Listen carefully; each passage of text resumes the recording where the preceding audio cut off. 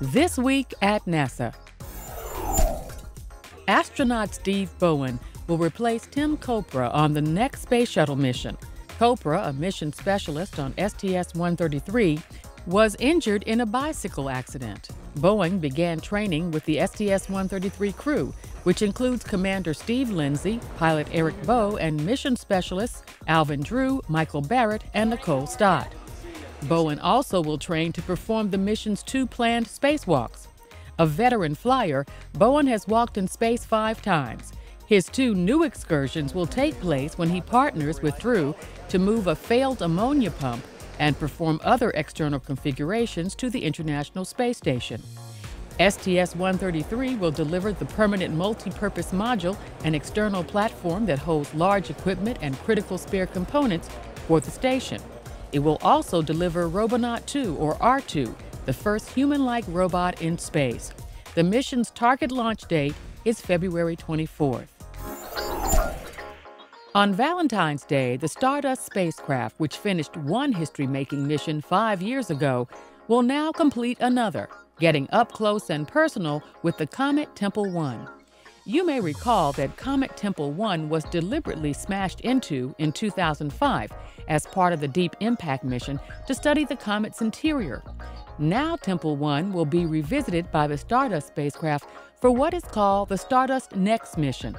At a news briefing held at NASA headquarters, Stardust scientists talked about this important landmark voyage. Our last targeting maneuver as we approach the comet is two days out. That is the last maneuver that will be fully designed to target to our 200 kilometer flyby distance, and that will be executed two days before we arrive at the comet.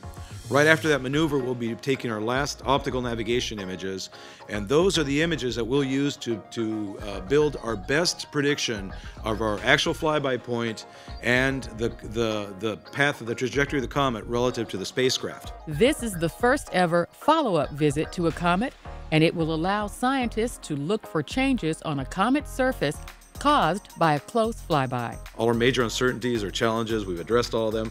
So I'm, I'm frankly very, very confident in uh, the results of the, that, that we're going to get a good flyby and good images of the comet. On January 15, 2006, the Stardust spacecraft returned from a rendezvous with Comet Wild 2 and jettisoned its capsule containing particles collected directly from the comet, as well as interstellar dust. Also at headquarters, the agency's next Earth observing satellite mission, Glory, was detailed at another briefing held in the James Webb Auditorium. Glory, scheduled to launch February 23rd, will study the impact of the sun and airborne particles on Earth's climate. This will serve as a resource for making scientifically based economic, health, and policy decisions related to environmental change. Both programs were broadcast live on NASA television and on the agency's website.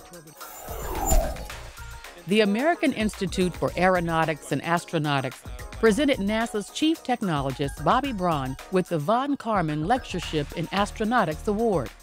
Braun was recognized for significantly advancing the understanding of the challenge of Mars entry, descent, and landing and for developing systems concepts and technologies enabling Martian exploration programs. The Von Karman Award, named for astronautics pioneer Theodore Von Karman, is given annually by the AIAA to an individual who has distinguished themselves technically in the field of astronautics. The presentation was made at the AIAA's 49th Aerospace Sciences meeting in Orlando. Now, Martin Luther King was the most famous. He was the best known of all the modern movement's personalities.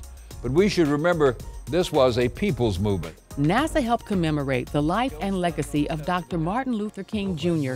with a special celebration at the Goddard Space Flight Center.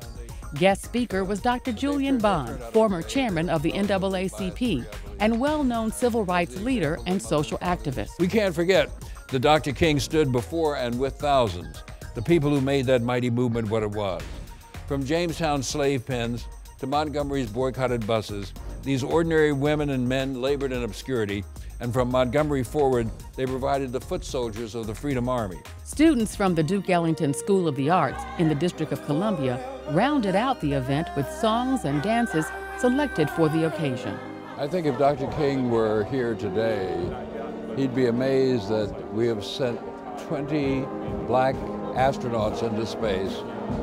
And he'd be amazed that I had met one of them just two days ago, Dr. Satcher, in Nashville. By coincidence, we happened to be together. And um, I think you'd just be overcome at the notion that black Americans are doing things that many Americans never thought anybody would ever do, and that is to go into space. And now, centerpieces. Landing an ER-2, NASA's civilian version of the Air Force's high-altitude U-2S plane, can be tricky. Its wings give the aircraft glider-like qualities, making it sensitive to crosswinds. The ascent and descent rates are fast and steep. And since its pilot must remain in a pressure suit, sometimes for a long period of time, even normal operations inside the ER-2 can be difficult. It's hard for him to judge altitude in this particular aircraft, and he has to actually stall the aircraft on every landing. So the plane has to be in a full stall. I'm basically his, uh, I'm his co-pilot, basically in the car. That's where the agency's recently acquired Dodge Charger safety chase car comes into play. The specially designed vehicle, driven by an experienced ER2 pilot, also called Mobile Pilot, charges down the runway at high speeds as the driver calls out data to the ER2 pilot. Things like distance in feet to the runway, taxiing details, and any other critical information to help facilitate a smooth and safe landing. There's about 20 at. There's 10, 8, 6, 4, 4, 3, 2, little right rudder, 1, little right rudder, inches. The Air Force has a history of relying on chase vehicles for landing safety. Following their lead, Dryden's Airborne Science Program has leased the government owned Charger for five years, and managers say the car has added an extra value of safety to ER 2 flight operations. Lifting off aboard its Titan Centaur rocket from Cape Canaveral, Florida on August 20th, 1977, Voyager 2 was one of a pair of NASA spacecraft bound to explore the planets and interplanetary environment of the outer solar system. Its companion, Voyager 1, followed a month later. Eight and a half years after launch, on January 24, 1986, Voyager 2 made a successful flyby of Uranus, returning about 8,000 images of the planet and its moons. Between them, Voyager 1 and 2 have explored all the giant planets of our outer solar system Jupiter, Saturn, Uranus, and Neptune, 48 of their moons, and the unique system of rings and magnetic fields surrounding those planets. Decades and many billions of miles later, both Voyagers are continuing their journeys to the boundaries of the solar system. And that's this week at NASA. For more on these and other stories, log on to www.nasa.gov.